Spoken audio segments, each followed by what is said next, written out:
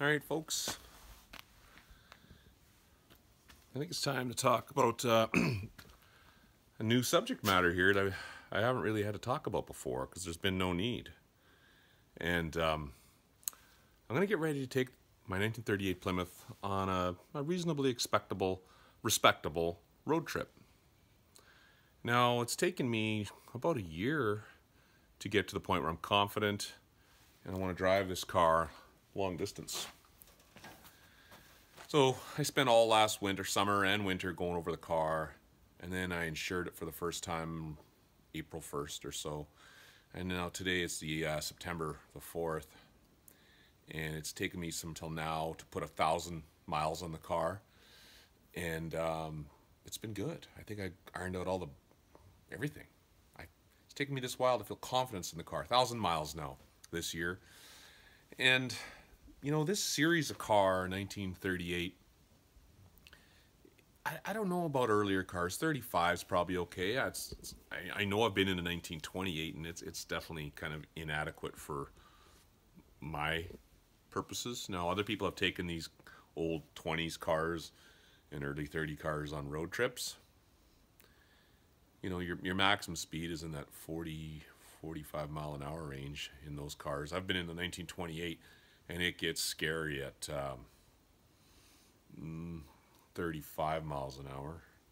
There's not much left at 35 miles an hour. So personally for me, you know, those kind of cars have their place, but a long highway trip, you know, I respect people that can do that in a car that old at those speeds. Now today on the highway, I mean, cars are ripping fast it's easy to be seeing 70, 80 miles an hour on divided multi-lane highways. And this car behind me here, my 1938, it's pretty comfortable at um, 50 miles an hour. Feels good.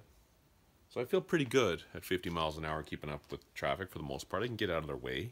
I, I just, I want to be prepared. I see cars and especially semi trucks that are slow on the hills. You know, they get rear ended by distracted drivers people aren't paying attention. And the hammer into the back of a semi at, uh, you know, the semi's doing 25, 30 miles an hour up a big hill and they're doing 70 miles an hour. I've seen a lot of that carnage on the highways. I don't want to be that. So I've decided I'm going to prepare my car for a trip. I'm going to do about probably between four and 500 miles round trip. And I'll take you through some of the things that I'm going to do to give me the peace of mind uh, to be able to go on a trip like that. I'm going to be by myself.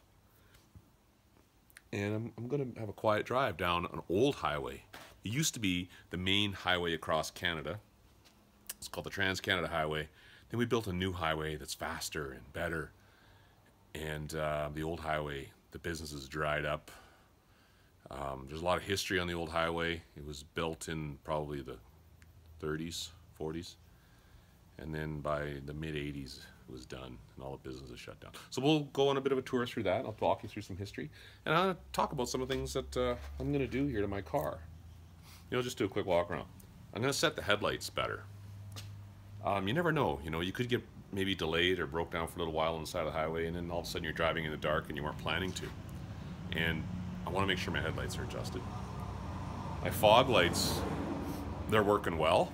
I don't plan to use them but they're great on super dark highways. They give me just a little bit more light. So I'm, those work well. I'm happy with that. I'm gonna put Rain-X on my windshield. My wiper on the driver's side work. The passenger side doesn't work. I'm not really worried about it. The Rain-X is gonna help and uh, keep that window clear.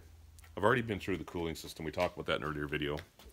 Um, everything, uh, the safety features on the car are all there. I'm really happy with the brakes. I feel good about the brakes. I feel good about the engine. Everything, everything's good mechanically. But just for a, a little bit of peace of mind, I decided to throw in a bottle of this. Now this is questionable whether it has any added benefit.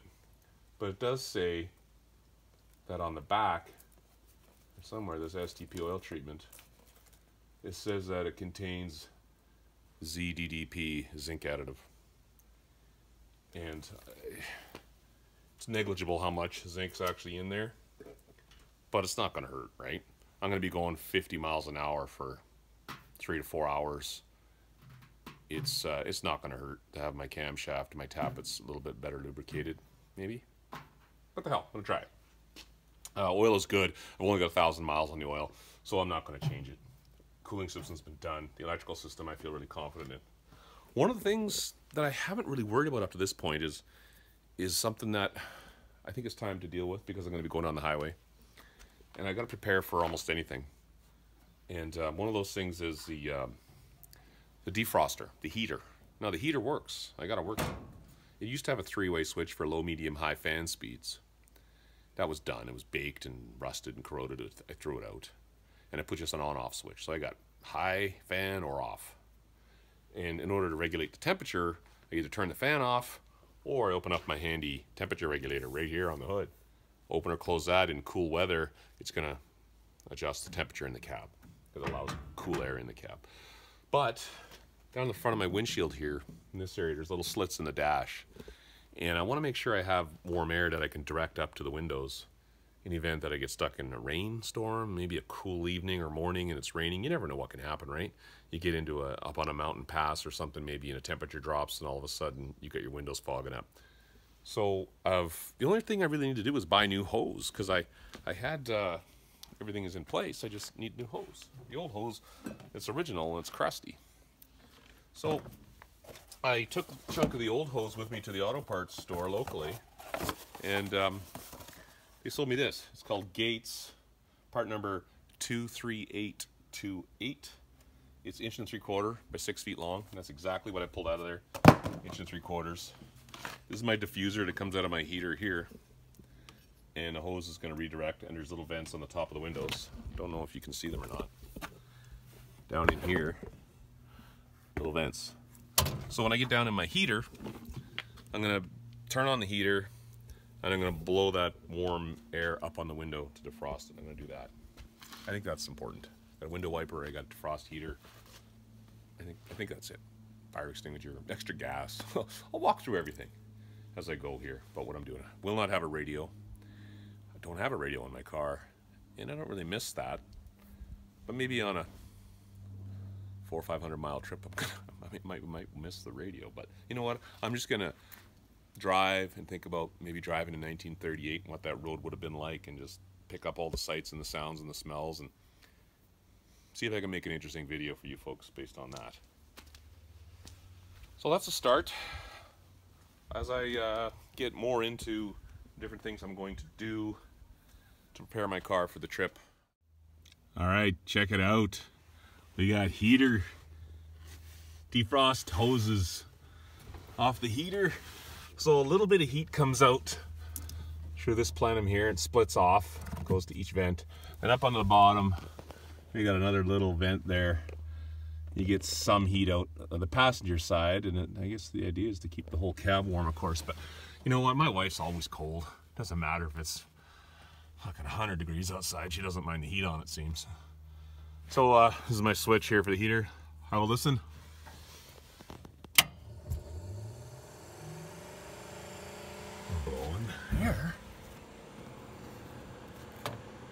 Yes, I can feel it. It's not like modern heat, but of course not. It's 1938. It's damn good for 1938. Um, you know what's important for a road trip? It's fuses, in my opinion. You know, I added that little fuse panel there, and um, it's going to give you a little bit, again, more security traveling down the road that something's not going to catch on fire. I like it when I learn a lesson and I can teach others. So let's have a look and I'll teach you a little bit about the lesson I learned. Down here's my battery and you can see my hoses. I've wrapped them in heater hose. Any vibrating, any vibrations, anything like that, it's gonna, anywhere there's potential for it to rub, to rub on the frame here, I've got hose protecting it. Now, when I first put the battery cable on there, I didn't have this part wrapped here. And you can see that's not a good fit. I'm running double aught cables. They're big and they're heavy. They're, they're kind of cumbersome to work with. And I went back and I double checked my work and I found that that battery cable Here's more heater hose here. Was rubbing on the battery box there. And I know that's not stock. I'll get it figured out. Just be careful with your electrical. I can't stress that enough. You can't have wires, especially off the battery, shorting out. Not while you're driving. Not anytime. Big fire. You get it glowing real good. You're going to smell it. You're going to pull over. And if you don't have a fire extinguisher, man, you could burn to the ground pretty quick. Now, this is kind of a safety hazard, I guess. It's rolling around the back seat. I guess I should mount it somehow. If I have an accident, it could really come over and hit me in the head, kill me.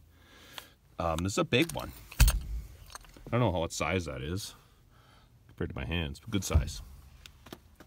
That's probably going to be able to put out a fire in this car. That's coming with me when I go on my road trip for sure. You know, it's, it's kind of funny what it what excites some of us old car guys. I'm excited that I'm going to have heat on, on defrost. Anyways, we love our old cars, and getting every little piece just a little bit better is exciting. Um, I dug out my shirt today. Special shirt for the video. It says Torque on there. and I picked this up at a swap meet or something. Torque. That's what these old cars are all about. You know, they're not big on horsepower. They make more torque. They have a long stroke engine, flathead. And this car um, has enough torque to pull the hills on the highway. Any hill that I've been on, I can maintain 50 miles an hour on the highway, thanks to our friend, Mr. Torque. All right, so stay tuned. Check back. Uh, this will be part one of the series, I guess. I'll call this a mini series. a special mini series on on my car and its upcoming adventure. Preparing the car, I'll call this part one. And then uh, check back, there'll be more videos coming.